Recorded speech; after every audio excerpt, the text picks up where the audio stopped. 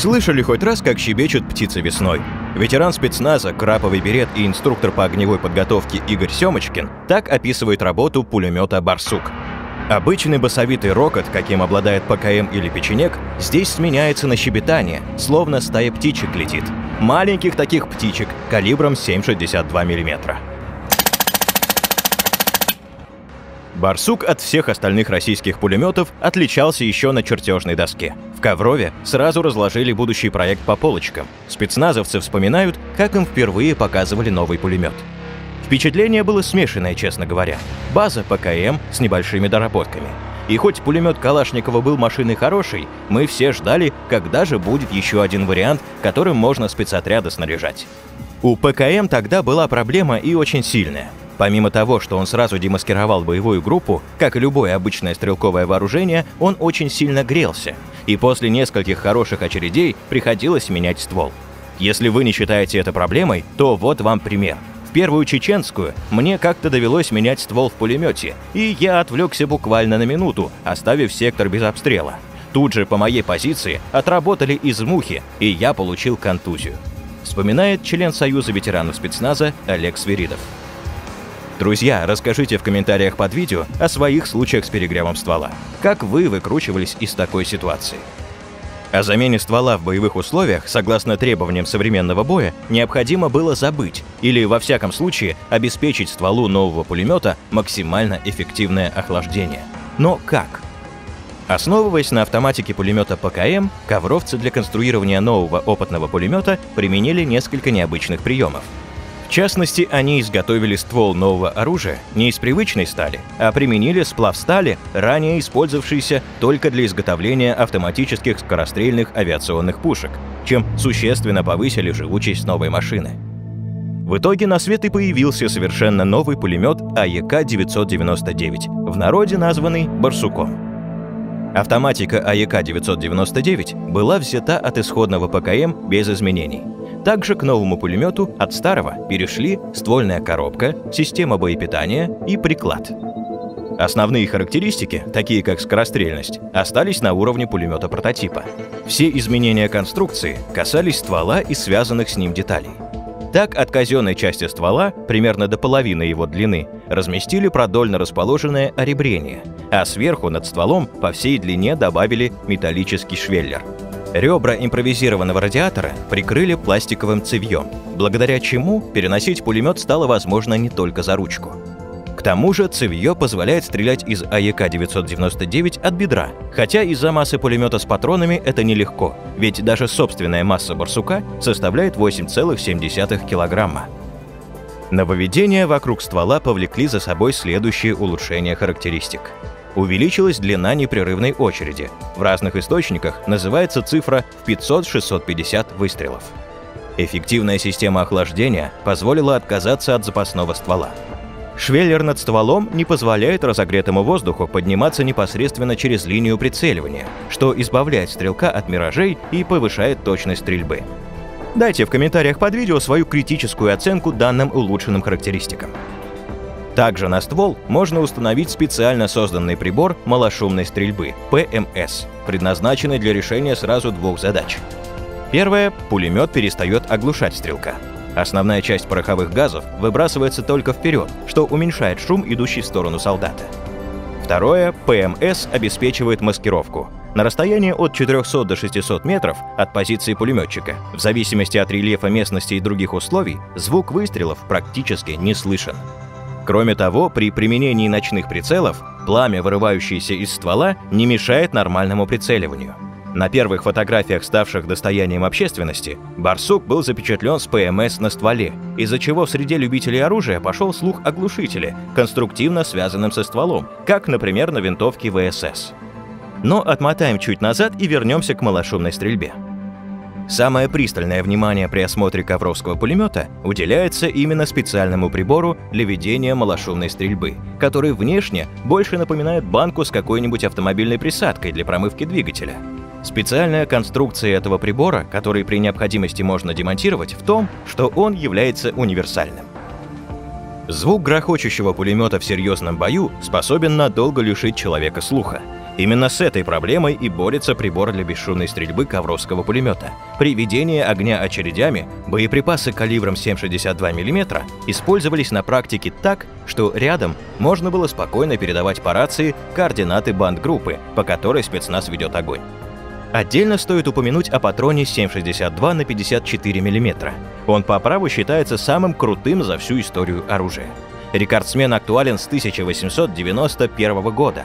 До сих пор именно под этот патрон делается огромное количество самого разного оружия. К слову, это патрон под знаменитую винтовку Мосина. Но вернемся к пулемету АЕК-999. ПБС в пулемете, помимо подавления акустики мощных боеприпасов, обладает и еще одной очень важной функцией. Он гасит дульное пламя, по которому можно определить огневую точку. Этот прибор настолько снижает уровень шума при выстреле, что из пулемета, в зависимости от типа местности, можно спокойно строчить очередями, а за 500-600 метров выстрелов уже никто не услышит. Однако еще раз отметим, прибор малошумной стрельбы при необходимости можно снять и заменить стандартным пламегасителем ПКМ. Часто пулеметчики отмечали неудобную конструкцию сошек на ПКМ. Конструкторы-ковровцы учли это и оснастили барсук измененными сошками. После соответствующих изысканий сошки перенесли дальше от дула, а конструкцию крепления изменили таким образом, чтобы она меньше сказывалась на балансировке оружия. В итоге сошки стали не только прочнее и удобнее, но и улучшилась кучность боя. В 1999 году начались сравнительные испытания «Барсука» и «Печенега». По их результатам Министерство обороны выбрало для принятия на вооружение пулемет СНИИ «Точмаш», а ковровская разработка заинтересовала Министерство внутренних дел. Для войсковых испытаний в спецподразделениях МВД была изготовлена небольшая партия АЕК-999.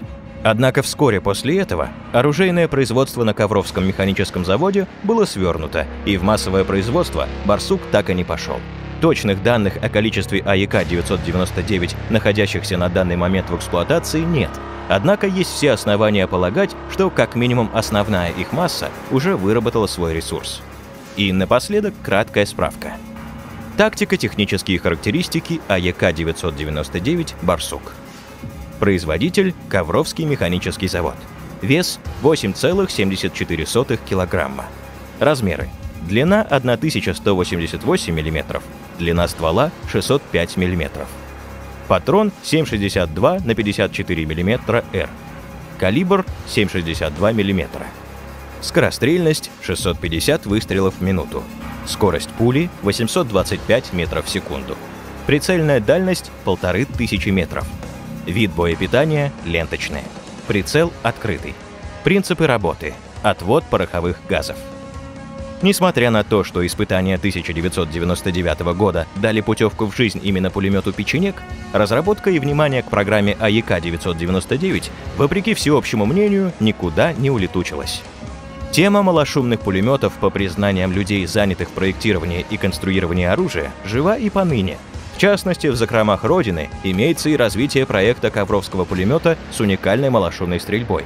Такую версию в интервью «Звезде» в свое время озвучил бывший армейский снайпер и оружейный эксперт Александр Кучеров. Идея малошумного пулемета никогда не убиралась в долгий ящик, особенно на Ковровском механическом. Способность давить противника длинными очередями и с высокой плотностью практически без всякого шума – это идеальный вариант для спецназа. И рано или поздно наработки ковровцев в этой области будут распечатаны и снова пущены в ход. Вероятно, совсем скоро в руках бойцов подразделений специального назначения в ходе опытной эксплуатации окажется этот современный вариант бесшумного пулемета. Что ж, посмотрим.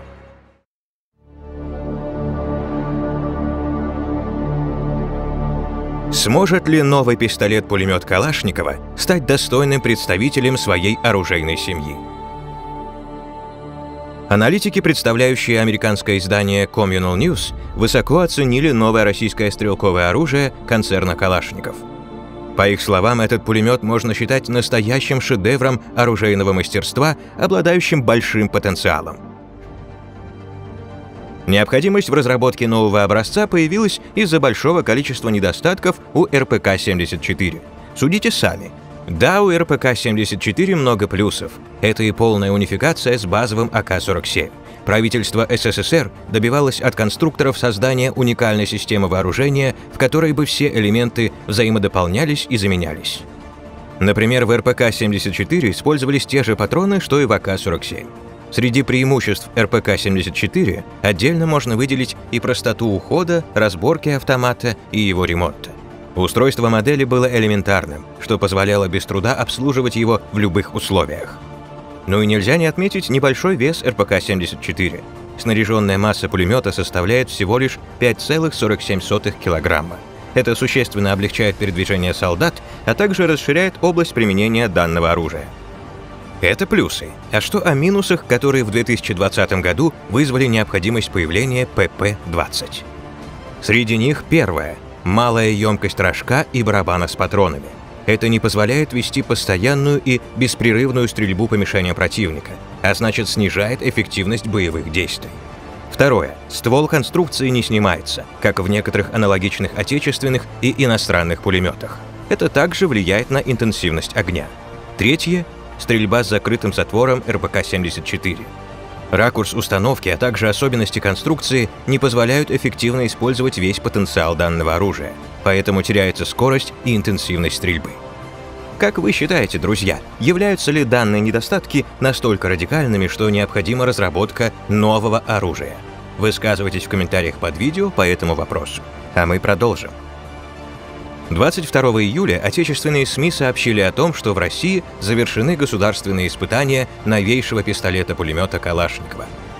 Межведомственная комиссия признала изделие годным для серийного производства и рекомендовала присвоить ему название 9-миллиметровый пистолет-пулемет Калашникова ППК-20 для увековечивания памяти конструктора Виктора Михайловича Калашникова. В пресс-релизе концерна «Калашников» для журналистов сообщается о том, что на этапе разработки нового пистолета-пулемета были приведены в соответствии с требованиями тактико-технического задания конструкция и состав изделия. Также улучшена эргономика пистолета-пулемета, а это новая эргономичная рукоять из универсального комплекта модернизации КМАК, новый адаптивный эргономичный приклад и новый пламя-гаситель комплектацию обновленного ППК-20 был введен прибор для малошумной стрельбы. Представители концерна утверждают, что надежность нового ПП значительно повышена по сравнению с базовым изделием. Кроме всего вышеперечисленного, в состав ППК-20 также вошли ремень с одноточечным и двухточечным креплением, специальная сумка для переноски магазинов, сопутствующего снаряжения и чистящих средств. Отметим, что никакие конкретные технические спецификации ППК-20 в пресс-релизе не приводятся. Однако, вероятнее всего, они будут не сильно отличаться от характеристик «Витязь-СН», принятого на вооружение МВД РФ с 2005 года. Вскоре после этого он снискал симпатию у силовиков. Свое имя «Витязь-СН» получил отнюдь не случайно – Одним из тех, кто разрабатывал концепцию этого образца вооружения, был Сергей Иванович Лысюк, герой России, основатель Крапового братства и первый командир знаменитого отряда специального назначения «Витязь» российских внутренних войск. Боевой опыт ветеранов прославленного спецподразделения, прошедшего все горячие точки России, позволил разработчикам создать один из лучших в своем классе пистолетов-пулеметов – Кроме того, военнослужащие отряда принимали участие в тестировании и апробации ПП-1901.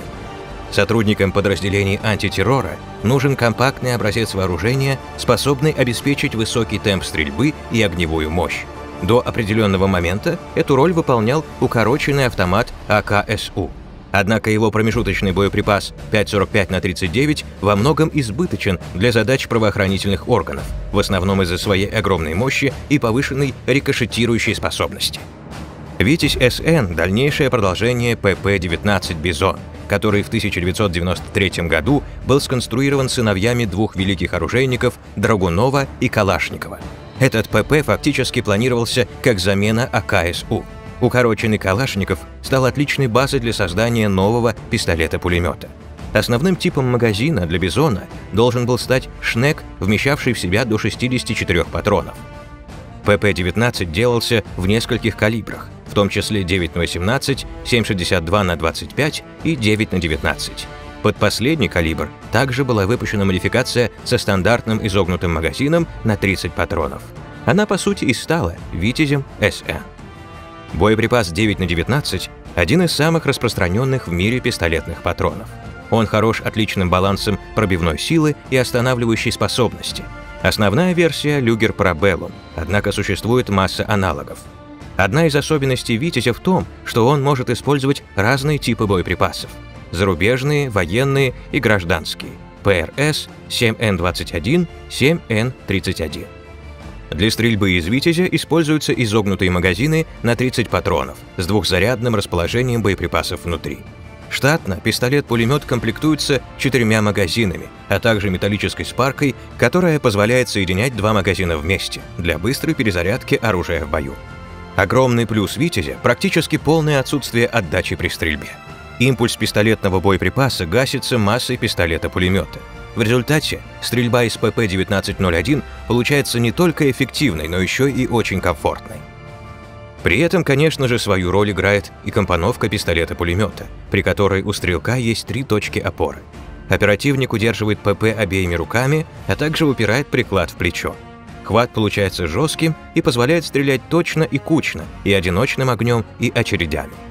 Витязь СН использует автоматику со свободным затвором, Огонь ведется с закрытого затвора. Ствольная коробка с ударно-спусковым механизмом и предохранителем по своему устройству полностью идентичны АКСУ. Производитель заявляет унификацию деталей до 70% с АК. Изначально ПП разрабатывался на базе АКСУ, поздней версии – на базе АК-105. Надежность Калашникова ни у кого сомнений не вызывает. Как следствие, «Витязь» – один из самых надежных и безотказных пистолетов-пулеметов. Компактные габариты PP1901 позволяют комфортно использовать его при работе в замкнутых пространствах и при проходе в двери или окна. Оперативник, вооруженный им, сможет стрелять из ПП даже находясь в автомобиле, прямо через стекло. Небольшая длина оружия позволяет это делать без особых проблем. Витязь СН – удобный образец вооружения. Чем-то по своей эргономике он напоминает немецкий Heckler Koch MP5. Однако, само собой, интерфейс Калашникова в форм-факторе укороченного карабина для российского стрелка намного удобнее и понятнее. Кстати, помимо боевого варианта, сегодня также существует гражданская версия ПП-1901 Сайга-9, сертифицированная как длинноствольный нарезной охотничий карабин. Он имеет ряд ограничений, обусловленных российским законодательством, таких как отсутствие режима автоматической стрельбы, длина более 80 см и невозможность стрельбы со сложенным прикладом. Как боевой, так и гражданский варианты полностью повторяют эргономику и элементы управления АК. Если человек имеет опыт обращения с АК, то с Витязь СН разберется без особых проблем. Создатели позаботились об универсальности использования PP1901. В базовой комплектации он имеет складной приклад, стандартное крепление типа «ласточкин хвост», а также планку Пикатини на крышке ствольной коробки. Кроме того, сегодня для ПП-1901 выпускается огромное количество дополнительного оборудования. На него можно установить телескопический складной приклад и дополнительные планки Пикатини. Полностью тюнингованный «Витязь» можно использовать с любыми необходимыми электронными приборами. На ПП-1901 «Витязь СН» можно установить и прибор малошумной стрельбы. При использовании тепловизора или приборов ночного видения, инфракрасного фонаря и лазерного целеуказателя этот пистолет-пулемет может стать великолепным оружием тайных операций в ночное время. Кстати, на чемпионате ФСКН по тактической стрельбе отдельный этап этих соревнований, турнир «Зенитка», был посвящен работе ночью, и в качестве основного оружия там использовался именно пистолет-пулемет «Витязь СН», полностью укомплектованный для войны в темноте. Мнение авторитетных оружейных экспертов таково. «Витязь СН» – крайне удачный образец вооружения – Сегодня его используют практически все подразделения специального назначения российских силовых структур, причем спецназовцы тоже оценивают ПП-1901 очень высоко. Друзья, а вы согласны с такой точкой зрения? Высказывайтесь в комментариях под видео по этому поводу. А мы идем дальше и возвращаемся к новинке 2020 года ПП-20.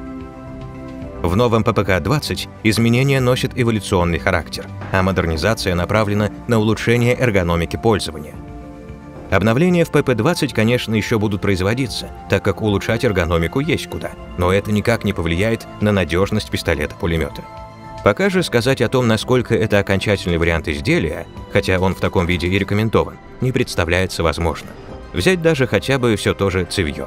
Возможно, правки еще будут. Вопрос только в том, платными либо бесплатными они станут. К примеру, история с компанией Magpul. Она за специальную доплату обновляет отдельные компоненты для могучего и непотопляемого старичка HK MP5. И тогда оружие выглядит современно, а эргономика приводится в соответствии с современными настроениями. Станет ли таким же образом поступать концерн Калашников, на данный момент неизвестно. В конце весны, начале лета текущего года на официальном канале YouTube концерна Калашников в качестве заставки основного фона появилось новое фото автомата Калашникова. На нем угадывается АК, но какой-то изменившийся. На данный момент фотография уже заменена. Изменения, которые заметны невооруженным взглядом, новое цевье со слотами M-Lock, новый регулируемый складывающийся, скорее всего влево, но это не точно приклад, который давно просился на АК. Можно предположить, что такой приклад более адаптируемый и нетрубчатый. Новый рычаг-предохранитель. Конечно, это еще не современный флажковый рычажок, но разница есть. Изменена форма и толщина, а скорее всего и материал защитной скобы спускового крючка. Выглядит как полимер. Почетный член движения «Право на оружие» Роман Худяков в эфире НСН оценил новую разработку российских оружейников. Он для ближнего боя, больше разработан для спецслужб, для боя в городах, для полиции, для Росгвардии. И, конечно, для нашей армии, для спецназа. Я считаю, аналогов сейчас в мире этому оружию нет. Это самое лучшее оружие, которое выпустили и разработали наши оружейники. Они молодцы, нужно стремиться к лучшему, не останавливаться на Калашникове, которому уже столько десятков лет, и который до сих пор считается самым лучшим автоматом в мире, рассказал Худяков. Новый образец вооружения, скорее всего, по традиции будет продемонстрирован на форуме «Армия-2020», где всего будет представлено свыше 25 тысяч единиц военной техники и вооружения.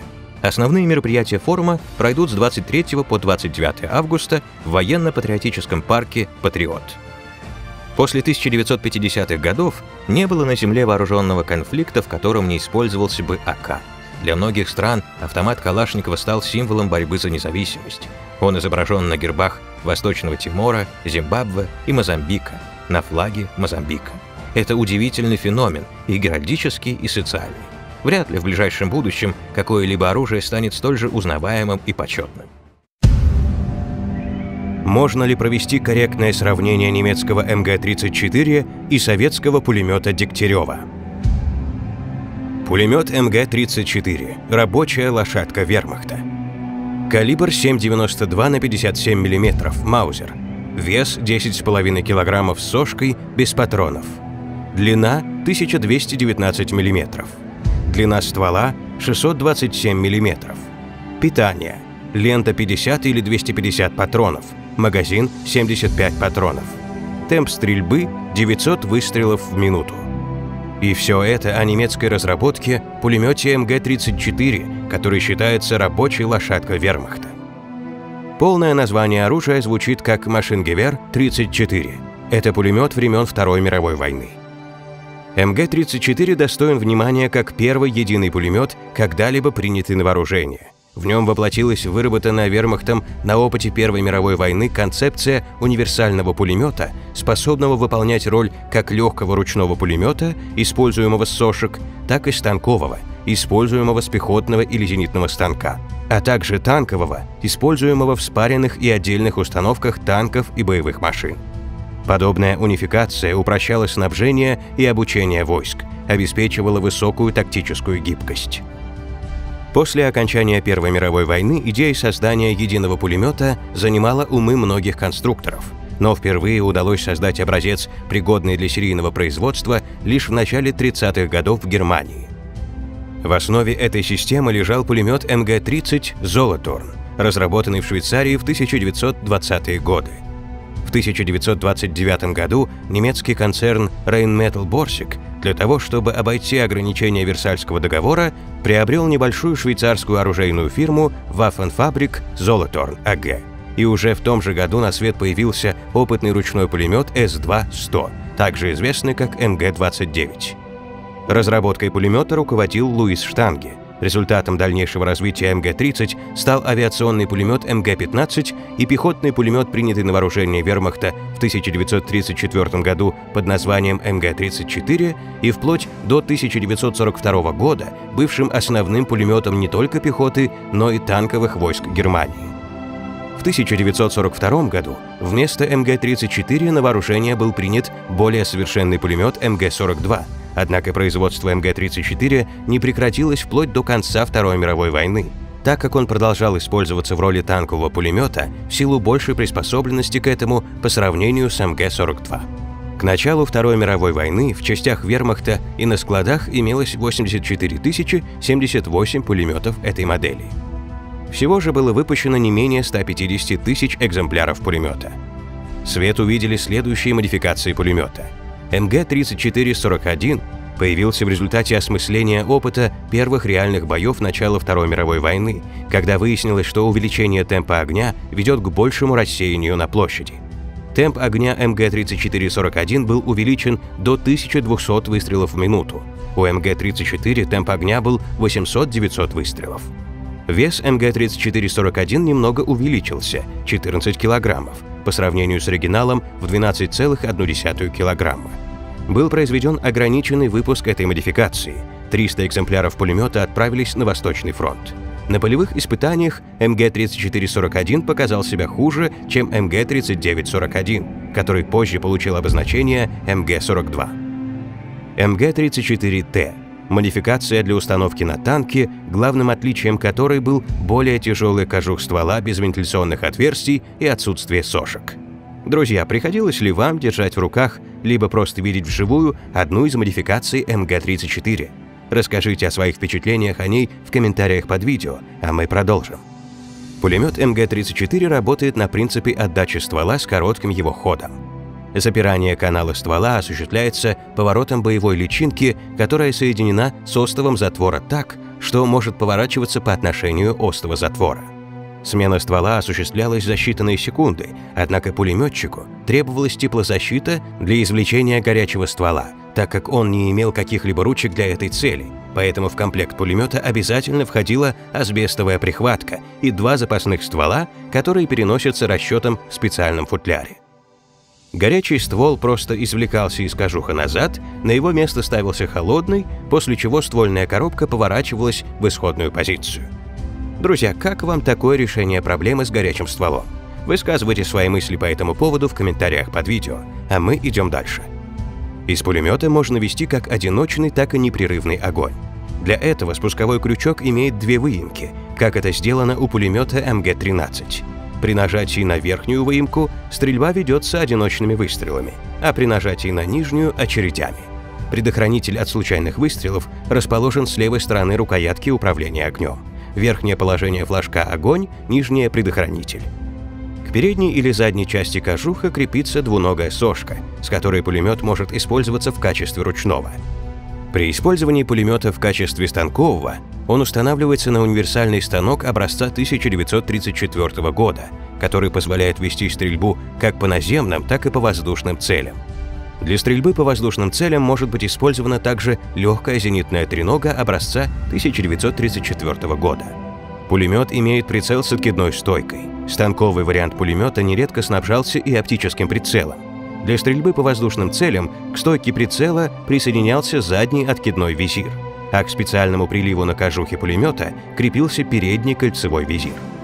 Стрельба из пулемета ведется винтовочными патронами Маузера 7,92 на 57 мм с легкой или тяжелой пулей.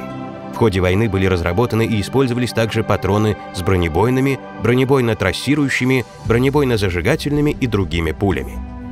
МГ-34 мог питаться от пулеметных лент на 250 или 50 патронов.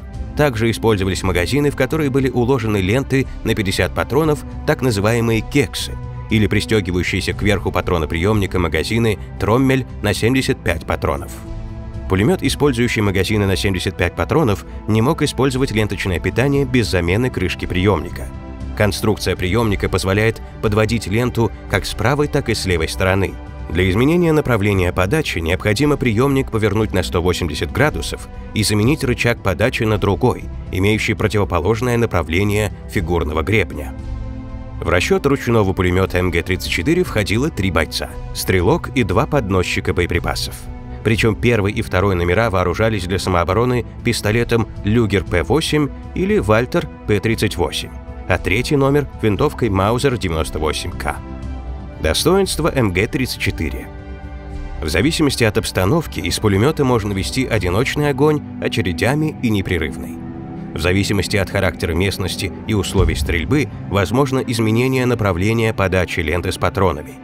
Возможность сцепления отдельных звеньев ленты позволяет собирать ленту любой длины, что повышает скорострельность пулемета благодаря сокращению процесса перезаряжания. Запасной ствол позволяет заменять его в случае перегрева. Конструкция пулемета имеет прогрессивную компоновку, при которой ось канала ствола проходит через точку опоры, плечо стрелка. Наличие кольцевого прицела и устойчивого станка повышает меткость стрельбы и увеличивает ее эффективную дальность. Наличие магазина делает пулемет более маневренным. Удобный приклад обеспечивает комфортность прицеливания при стрельбе из различных положений. Универсальность пулемета позволяет использовать его в качестве ручного, станкового, зенитного и танкового. Существенной особенностью МГ-34 явилась его исключительно продуманная конструкция – Впервые в автоматическом оружии было достигнуто крепление всех основных узлов методом сухарных соединений и защелок. Недостатки МГ-34 Большой вес и громоздкий станок отрицательно сказываются на маневренности пулемета.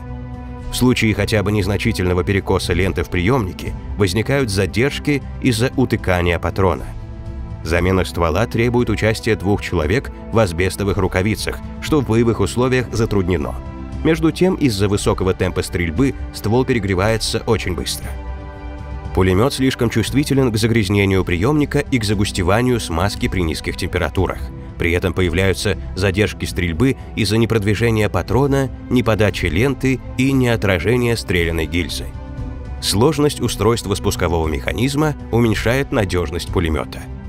Ну а теперь давайте сравним знаменитый МГ-34 с нашим советским пулеметом Дегтярева – ДП. ДП был принят на вооружение семью годами ранее МГ-34, то есть в 1927 году. С точки зрения надежности обе модели практически не вызывают нареканий. Автоматика пулемета Дегтярева и МГ позволяет вести огонь без помех. Единственное, что можно записать в недостатке советскому пулемету, это расположение возвратно-боевой пружины под стволом. При стрельбе ствол нагревается и проходит совершенно ненужный нагрев пружины, снижающий ее ресурс. Впоследствии в модели ДПМ недостаток устранили, но почти всю войну было именно так. Прицельная дальность стрельбы у пулеметов также схожа. 600-700 метров у МГ-34, 600-800 метров у модели Дегтярева. На практике это означало, что оружие обеспечивало уверенное поражение противника на всех реальных дистанциях боя. Стрелять на километры дальше смысла не было. Здесь у нас паритет боевая скорострельность советского и немецкого пулеметов сильно различается. ДП может теоретически производить 500-600 выстрелов в минуту. МГ-34 – 800-900 и даже больше тысячи выстрелов. О том, является ли большая скорострельность плюсом или минусом, спорят до сих пор. С одной стороны, МГ-34 просто адски прожорлив в плане патронов, только успевая подносить. С другой стороны, он обеспечивает невероятную плотность огня, особенно на ближней дистанции. Идем дальше. Пулемет Дегтярева, так же как и МГ-34, считался оружием с быстросменным стволом, но только номинально. Фактически произвести замену в бою без инструментов было практически невозможно, и этим почти никогда не пользовались. Асбестовых рукавиц тоже не завезли, так что справедливо будет признать ДП пулеметом без возможности быстрой смены ствола. Долгий огонь из оружия, соответственно, был нереален. Вес оружия – из каждого пулемета приходится не только стрелять, но его нужно еще как-то переносить с места на место. Соответственно, оружие тем лучше, чем оно легче. Здесь безусловное лидерство за системой Дегтярева. Без патронов пулемет весит чуть более 9 килограммов, что сравнимо с современными моделями. Более массивный МГ-34 тянул на 12 килограммов, а это огромная разница. Здесь преимущество без вариантов за советским оружием. Перейдем к самому больному месту – питанию боеприпасами. У МГ-34 мы уже все озвучили. Что с ДП? Магазин к пулемету Дегтярева – это, наверное, самая неудачная деталь оружия. Знаменитый блин, сделавший силуэт советского пулемета таким узнаваемым, выглядел красиво и подавал патроны относительно безотказно. Зато имел колоссальный мертвый вес. Даже без патронов дисковый магазин тянул на 1,6 килограмма, а с 47 патронами – целых 2,7 килограмма. Для сравнения, коробчатые магазины для современных Дегтярев ручных пулеметов весили 300-400 граммов пустые и максимум 1 килограмм снаряженными при емкости 20-30 патронов. Для носки нескольких магазинов требовалась специальная сумка, а еще блин, крепящийся сверху пулемета, вынуждал стрелка поднимать голову чуть выше, чтобы видеть противника, то есть чуть больше демаскировать себя с риском погибнуть. Обычно в плюс пулемету Дегтярева ставит его технологичность и дешевизну. Оружие можно было производить силами не особо квалифицированного персонала, в то время как МГ-34 был довольно сложным и дорогим. Перейдем к концепции пулеметов. ДП – это чистый ручник, пулемет для звеньев отделения взвод рота, оружие для маневренного боя. Эффективно обороняться на подготовленных позициях, накрывая врага шквалом огня, не получится – низкая скорострельность и по факту нет сменного ствола. МГ-34 же – это в своем роде прорыв, первая модель в классе так называемых «единых пулеметов».